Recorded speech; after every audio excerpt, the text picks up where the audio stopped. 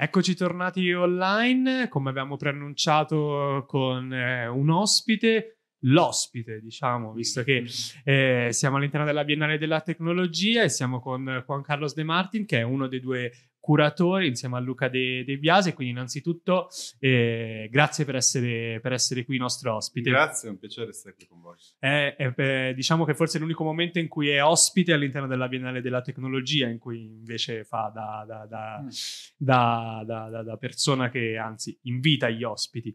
Le, le, volevo fare qualche domanda, diciamo, a proposito di questa, di questa, di questa Biennale. È la, è la prima volta che la Biennale della Tecnologia, che prima si chiamava Festival della Tecnologia, è in presenza presenza. Quindi un po' di emozione in questo senso e come è nata questa idea? Allora sì, sicuramente emozione perché l'esperienza del 2019, che era nata, lo ricordo, come per i 160 anni del Politecnico, ed era nata mm, con tutta la prospettiva di essere una specie di grande festa unica, e, mm, e, è un ricordo molto forte in tutti e quindi mm, eh, la pandemia cioè, nel 2020 che ci ha obbligato a farlo interamente online ha lasciato a, a, tutti, come per mille altre cose, un senso così di, di malinconia, di nostalgia. Quindi tornare in presenza è sicuramente emozionante e um, tornare in presenza con forse del, un'offerta ancora più ricca e ancora più matura di quanto non fosse inevitabilmente il 2019, che era un po' un numero zero, era un, come dire, una, un tentativo e anche un tentativo con una componente di rischio, perché fare una grande manifestazione culturale su tecnologia e società non l'aveva mai fatto nessuno e quindi avevamo la ragionevole speranza che potesse incontrare il favore del pubblico, degli studenti e del pubblico in generale, ma non eravamo, non eravamo sicuri. Quindi eh, adesso invece con l'esperienza del 2019, con l'esperienza completamente diversa online, ma di nuovo con dei numeri importanti, Importante. con molte persone che ci hanno seguito dal vivo, che poi ci hanno seguito le registrazioni successivamente, eh, mh, abbiamo approcciato questa terza edizione con quindi un pochino più di tranquillità, se, se, è possibile avere tranquillità quando si fanno questo genere di cose così ampie, ampie e così complesse. Eh, ma perché è nata così? Perché il, il Politecnico di Torino, eh, appunto la mia persona, il rettore, Luca De Biase e molti altri, avevano questo desiderio di provare a parlare di tecnologia eh, in una maniera che non fosse soltanto strettamente tecnica, ma che invitasse tutti gli altri punti di vista, incluse le arti, eh, per aiutarci a comprendere che cos'è veramente la tecnologia. Quindi abbiamo, eh, fin dalla prima edizione, invitato filosofi, antropologi, sociologi, letterati, eh, musicisti e così via, e questo impianto è stato completamente confermato nella seconda edizione e poi adesso anche nella terza.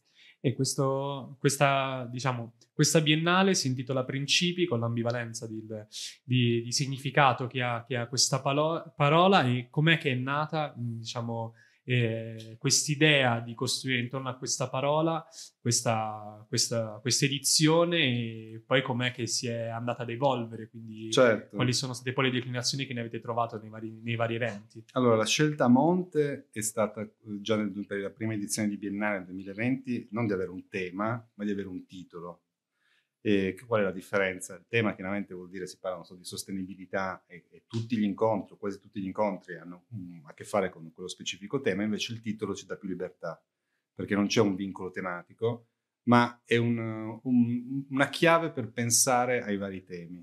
Quindi mh, nel 2020 era mutazioni, eh, con tutta una serie anche in quel caso di, di, vari, di polisemia, di vari significati, Stavolta è principi, perché principi, dopo averci pensato a lungo con, con Luca e con tanti altri, effettivamente è una parola sorprendentemente ricca di significati, perché sono i principi fondanti di una dottrina, sono i principi attivi di una, di una molecola, sono i principi nel senso di inizi. Quindi è una, è una parola che si presta particolarmente a, a, incoraggiare i nostri relatori a dire, ma nell'argomento di cui voglio parlare io, dove trovo un aggancio con questa parola così proteiforme?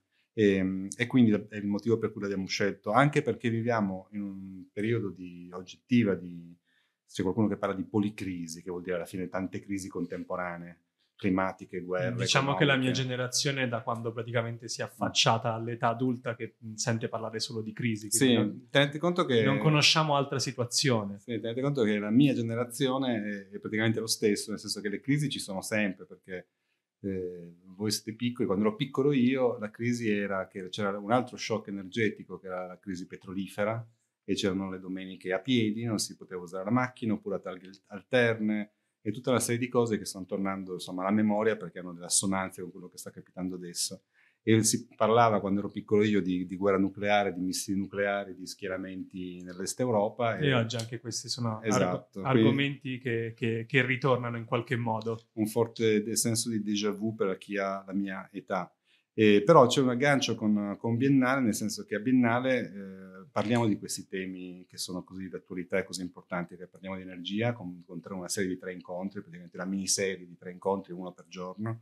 Parliamo anche proprio di, di guerre, di armi. Ci sono due incontri chiamati Il lato oscuro della tecnologia, dedicato alle armi, a cura di Peppino Ortoleva, quindi non siamo stati dire, timidi e non abbiamo fatto finta di niente rispetto a quello che stava capitando nel mondo e poi c'è un incontro a cui tengo molto perché l'incontro lato opposto, tecnologia e pace, quindi il ruolo dei tecnici, il ruolo degli ingegneri, il ruolo della tecnologia in collaborazione a cura col centro Sereno Regis, che è un noto centro torinese che si occupa di pace da, da decenni. Benissimo, allora noi intanto ci ascoltiamo un brano. Nel mentre siamo tornati qui online con il nostro ospite Juan Carlo De Martin, il curatore scientifico della Biennale della Tecnologia, con cui stavamo un po' parlando di, di, di, di questa, questa, edizione che ne abbiamo sottolineato più volte anche con, con il rettore che abbiamo avuto ospite. E forse la cosa più interessante di, questo momento è anche eh, riscoprire anche eh, la limitatezza del sapere ingegneristico. Alcune volte forse al Politecnico non, non è facile ricordarselo in questo, in questo, senso, ma nel momento in cui ci apriamo in questo, in questo modo agli altri saperi per essere contaminati su un tema poi a noi molto vicino, che è quello della, della tecnologia, ci fa rendere conto sia che probabilmente anche il lungo percorso di studi che ne facciamo, pesante, oberante come può essere, non è sufficiente e la curiosità anche nei confronti degli altri campi non è mai fine a se stessa, ma serve anche per capire meglio quello che poi noi studiamo.